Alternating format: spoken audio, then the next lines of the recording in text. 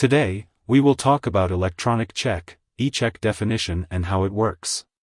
An electronic check, or e-check, is a form of payment made via the internet, designed to perform the same function as a conventional paper check.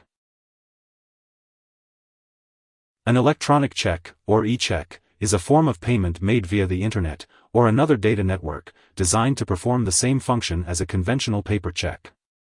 Since the check is in an electronic format, it can be processed in fewer steps. Additionally, it has more security features than standard paper checks including authentication, public key cryptography, digital signatures, and encryption, among others. An electronic check is part of the larger electronic banking field and a subset of transactions referred to as electronic fund transfers.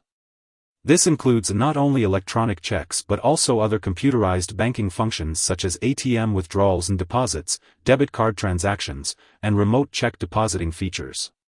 Electronic checks were developed in response to the transactions that arose in the world of electronic commerce. The transactions require the use of various computer and networking technologies to gain access to the relevant account data to perform the requested actions.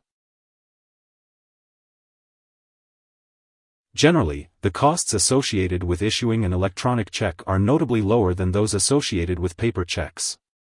Not only is there no requirement for a physical paper check, but also electronic checks do not require physical postage in cases of payments being made to entities outside the direct reach of the entity issuing the funds. It is estimated that printing and issuing a paper check will cost your business anywhere between $4 and $20. However, the average fee per e-check transaction ranges from 30 cents to $1.50. Further, there are multiple levels of authentication to help ensure funds are routed properly. One of the more frequently used versions of the electronic check is the direct deposit system offered by many employers. It is an electronic method of sending an employee's wages directly into the employee's bank account. Additionally, taxpayers who are owed a refund on federal tax returns can elect to receive a directly deposited electronic check from the Internal Revenue Service instead of having a physical paper check sent through the mail. Yes, but you must first sign up for an e-check service.